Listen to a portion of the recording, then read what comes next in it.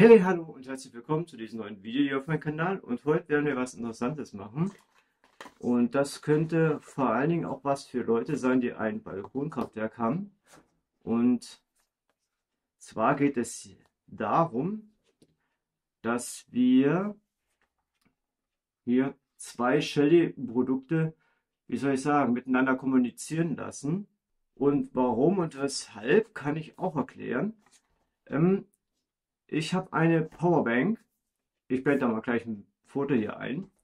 Und diese lade ich zurzeit jetzt im Winter, wenn die Solaranlage es mal schafft, über 150 Watt zu kommen. Das Problem an der ganzen Geschichte ist, dass ich das, ja, wenn ich auf Arbeit bin zum Beispiel, und dann sehe, dass die Anlage, wie schon erwähnt, über 150 Watt erreicht, ich dann äh, händisch meine Funksteckdose, die ich da dran habe, aktivieren muss, damit halt meine sozusagen die Powerbank dann lädt. Übrigens, die Powerbank hat 300 Watt. Das will ich jetzt ändern und zwar mit Shelly. Ähm, kurz nochmal zur Info. Ich habe, als ich die Anlage, also mein Balkonkraftwerk, angebaut habe, mir eine extra Stromleitung zum Sicherungskasten legen lassen und habe dann in den Sicherungskasten diese kleine Shelly 1 PM installiert und somit kann ich jetzt da über die Shelly App auch meine ja, mein Verbrauch bzw. ablesen, was ah, kriege jetzt die Kiste nicht auf, was mein Balkonkraftwerk produziert. So, wie dem auch sei, die beiden müssen dann kommunizieren miteinander, dass die Steckdose hier, das ist eine Shelly Plug-in S, die werden wir auch gleich gemeinsam einrichten, mit diesem Teil hier kommuniziert. Und wenn die feststellt, dass der hier über 150 Watt in die Leitung speist, dass die dann angeht und anfängt dann mein ja, meine Powerbank zu laden. Wenn der Wert dann wieder unter 150 Watt fällt, soll die dann auch automatisch wieder ausgehen, damit ich nicht ja, den Strom aus dem Netz brauche. Also, so jetzt die Theorie. Das Problem an der ganzen Geschichte ist, dass äh, die Anlage jetzt, wir haben draußen Schnee ohne Ende und mein Balkonkraftwerk, zumindest die Paneele sind voller Schnee und da produziert die nicht ganz so viel. Außerdem würde er das auch blöd, weil ich sag mal so, wenn wir die jetzt hier einpflegen und dann will ich sie testen und der Verbrauch geht immer höher, immer höher, brauche ich bis abends, bis der wieder runtergeht. Deswegen habe ich hier eine kleine Testaufanlage, die quasi mein Balkonkraftwerk simulieren soll. Das sind zwei Lampen. Das zeige ich euch mal. Ich Weiß nicht, ob das die Kamera jetzt hier mitmacht. Moment. So, lasst euch jetzt mal nicht hier ein bisschen irritieren. Ich habe hier zwei Lampen. Die sollen jetzt, wie gesagt, meine Solaranlage simulieren. Ich habe hier schon eine Shelly Plug S dran. Die simuliert dann mein Shelly 1 PM. Und ich hoffe, das funktioniert so. Ich würde sagen, wir beginnen jetzt auch mal und richten jetzt diese Shelly ein hier in die App. Dafür verwende ich jetzt die Mobil-App hier auf mein MacBook. Ich hoffe, das funktioniert so. Ansonsten muss ich auf mein Handy umswitchen. Jo, okay. Dann wollen wir mal. So, und hier ist auch die Oberfläche. Wir haben jetzt hier zwei Geräte drin. Können wir alle beide Geräte anzeigen lassen. Dies hier, wir gehen hier mal auf mein Home, ist ein Testraum. Das ist diese Shelly Plus 1, die ich hier schon eingerichtet habe. Und da steht jetzt Test PV-Anlage. Wenn ich jetzt die Lampen anmache, jo, simuliert also jetzt diese Anlage quasi meine PV-Anlage und würde jetzt mir sozusagen jetzt hier 10,9 Watt einspeisen. Ich werde die jetzt in die Steckdose stecken und dann werden wir sie gemeinsam einrichten. Ich gehe jetzt übrigens davon aus, dass äh, ihr jetzt schon Shelly-Anwender seid und dass ihr natürlich auch die App hier habt. So, ich stecke die jetzt rein.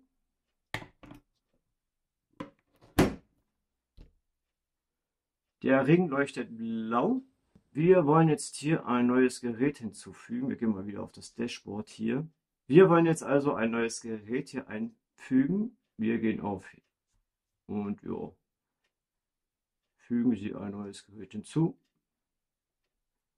Hm, wir nehmen WLAN-Scan. Weiter. Das ist eine Shelly Plus S. Weiter. Ah, hier müsst dann nicht euer Netzwerk rein. Okay, wie ich mir schon gedacht habe, das funktioniert nicht mit der App hier auf dem Mac, aber wir machen das jetzt mal übers Telefon. Ich blende das auch gleich ein. Also wir gehen auf Gerät hinzufügen, ein neues Gerät, also hier dasselbe in grün. Wir können Bluetooth machen. Ja, wir machen das mal über Bluetooth. Wir versuchen zumindest Shelly Black S Gerät. Jo, neues Gerät soll das sein. Weiter. Und weiter. So, jetzt könnt ihr natürlich nicht sehen, wie das blinkt da. Das blinkt immer noch rot, äh, Quatsch, blau. Normalerweise hätte ich jetzt mit denen da gefilmt, aber jetzt blinkt es rot. Es blinkt immer noch rot. Rot. Gerätezugriff. Okay, da haben wir es auch schon. Ähm, wir nehmen mal das Gerät. Soll heißen jetzt, ja, einfach nur Test Dose. Fertig. Bild lassen wir so, machen weiter. Wir nehmen den Testraum, speichern. Gerät wird gekoppelt. Und wir warten noch auf eine ausstehende Verbindung. Okay, wir können jetzt mal hier gucken, ob die hier schon drin ist. Dashboard. Mal zu Hause. Jo, sie ist drin. Perfekt.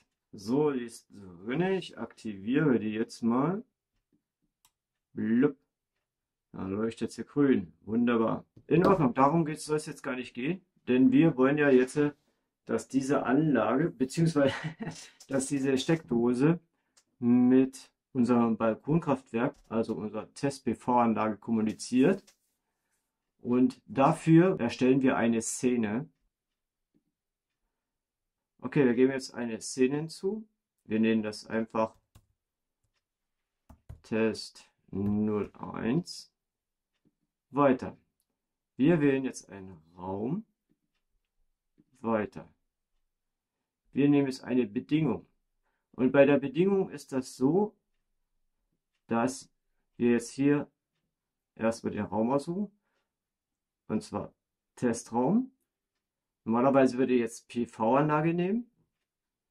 Suchen uns jetzt das Gerät. Wir nehmen jetzt nicht die Steckdose, sondern äh, PV-Anlage jetzt Energieverbrauch.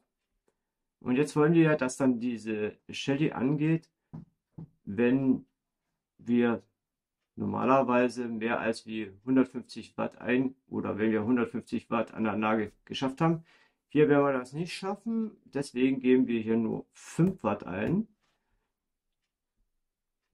Bei unserem Testversuch jetzt hier. Hm, was habe ich falsch gemacht? Energieverbrauch. Äh, ungültiges Vermögen, bitte füllen Sie Ach so, ich muss ja, sorry, jetzt aber. Wenn mehr als 5 Watt, also wenn mehr als wie 5 Watt, dann das hier bleibt alles so. Speichern. So, das haben wir.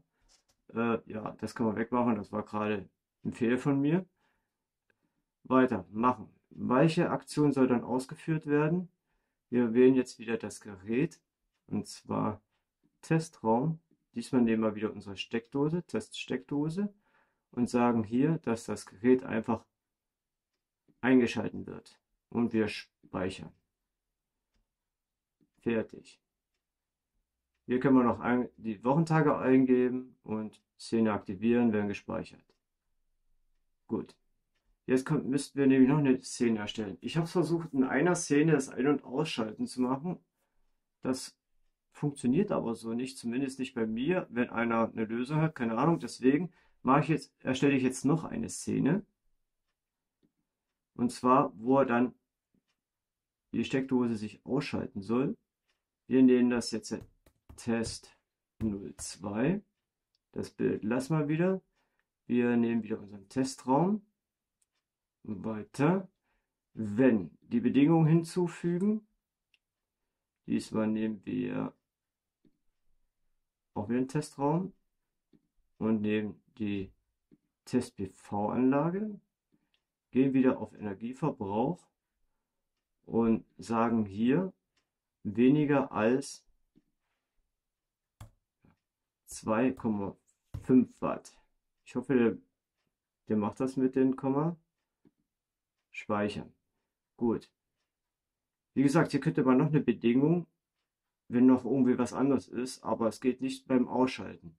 So, also weiter. Welche Aktion soll jetzt diese Szene machen? Wir nutzen jetzt wieder hier Testraum.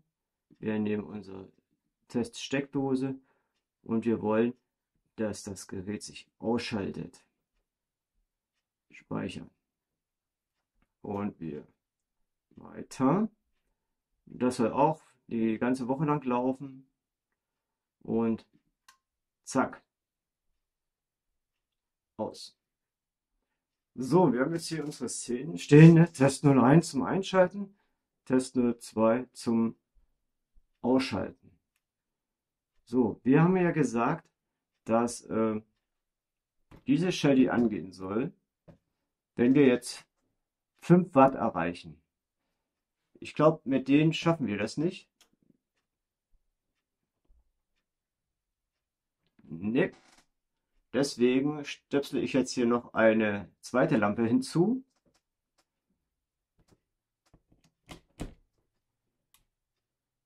Und die Shelly geht an.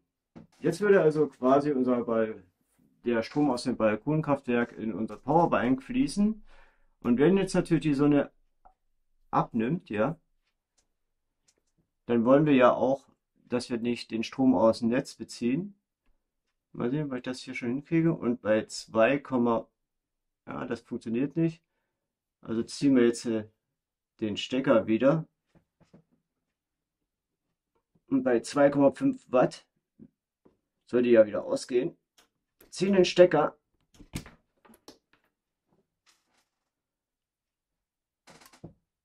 und aus ist. Ja, so funktioniert das.